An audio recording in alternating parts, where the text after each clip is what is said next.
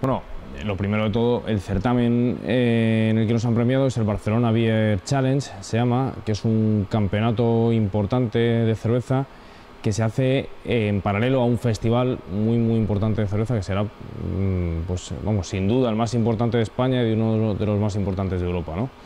Eh, y en este certamen, en este concurso, pues participaban casi mil cerveceras eh, de todo el mundo, eh, evidentemente la mayoría de ellas eran europeas y sobre todo españolas,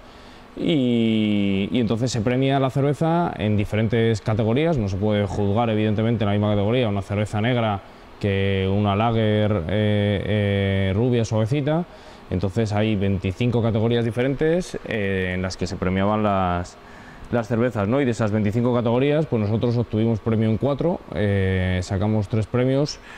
con nuestra rubia, con la especial, con Viking Gator, eh, tres medallas de oro y con Invasión una medalla de, una medalla de plata. Y esos cuatro premios nos convirtieron después en la cervecera más premiada de todo el concurso, con lo cual es una maravilla porque eh, había allí compitiendo con nosotros pues, fábricas enormes de, Estados Unidos, fábricas europeas con una tradición eh, impresionante, que además tienen muchísima más cervezas que nosotros, entonces pues bueno, pues fue una, fue una alegría enorme, te, reconforta mucho el saber que,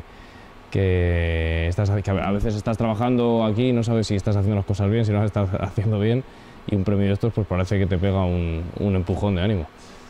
en lo que son las categorías se adapta muy bien a todas las especificaciones técnicas que quedan recogidas.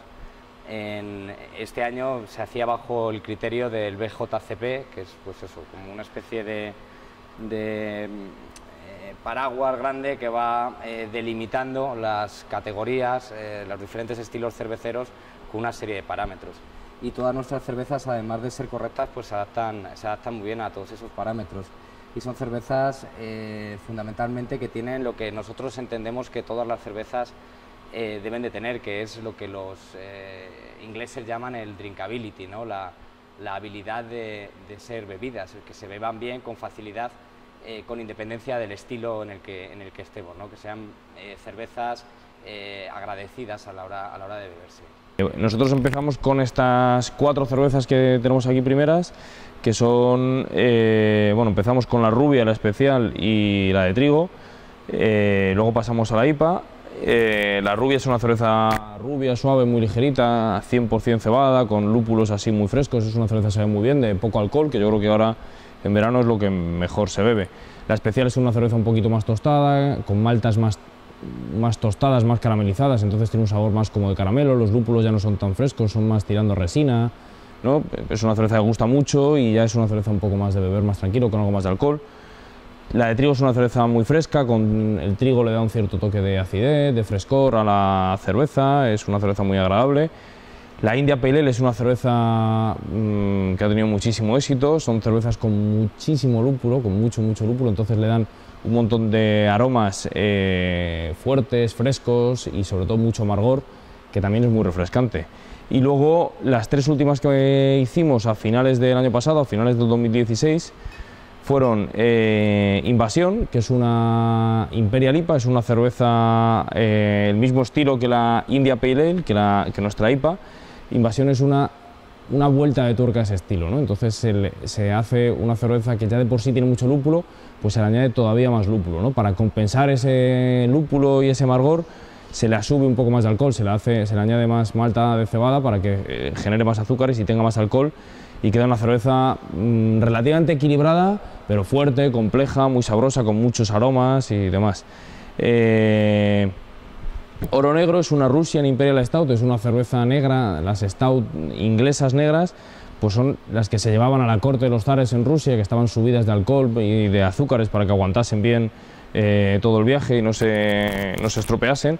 con el frío. Y entonces es una cerveza compleja, lleva, eh, es una cerveza negra que de por sí lleva ya mucha, mucha malta tostada que le da un sabor como de,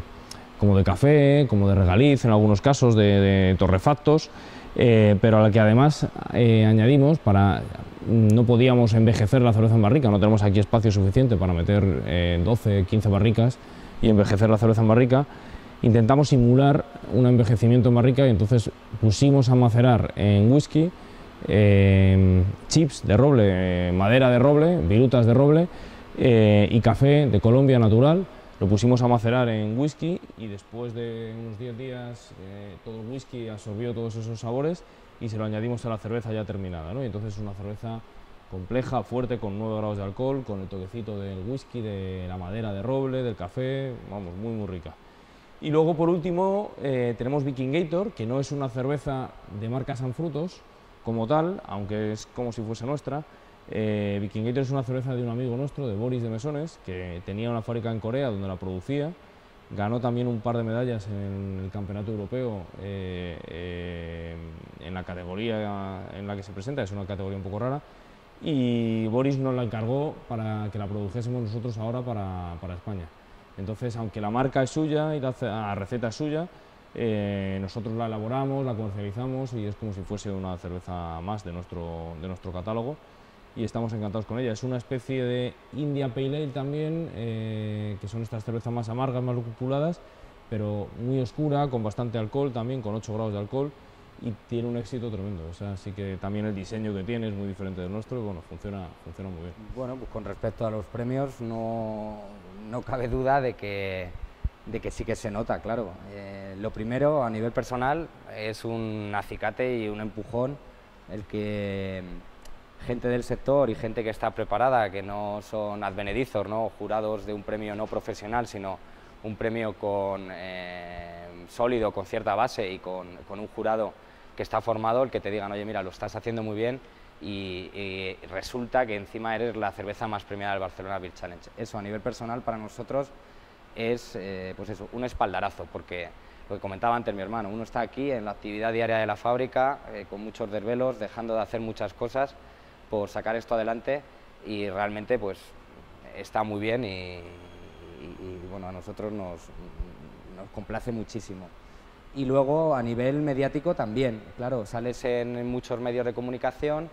eh, la gente lo valora, basta que te den unos premios fuera para que aquí se valore todavía más, entonces eso nos ha venido muy bien. Y luego a nivel nosotros eh, producimos también cervezas para terceros, eh, lo que se llama en esto de la cerveza artesana, los nómadas o gypsy brewers, son gente que pone